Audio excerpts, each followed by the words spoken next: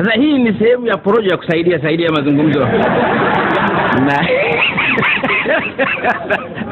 Na, porojo porojo si mbaya, isipokuwa isipokuwa mtafanya katika jambo serious namna hii, mtafanya makosa kabisa, kwa sababu mnauza magazeti yanasomwa, mnapata hela, lakini hela za porojo katika jambo serious zinaweza kuwa ni sawa na za mamluki.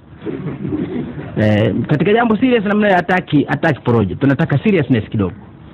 Sasa mimi sikuwapo, kamati kuu wamezungumza wenyewe, jamani, eh, katika vikao hivi tumkaribishe mwalimu.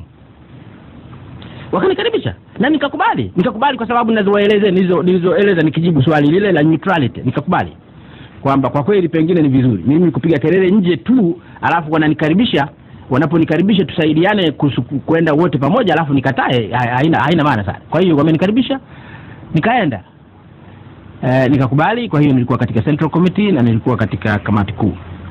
Sasa sijui kwa nini e,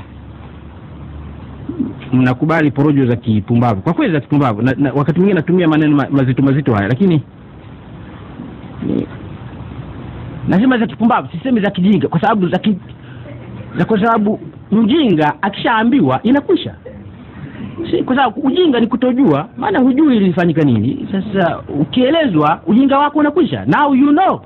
Ujinga ni ignorance hmm? Upumbavu ni foolishness, ni, ni foolishness na na foolishness ni kipaji kama ufupi na urefu hicho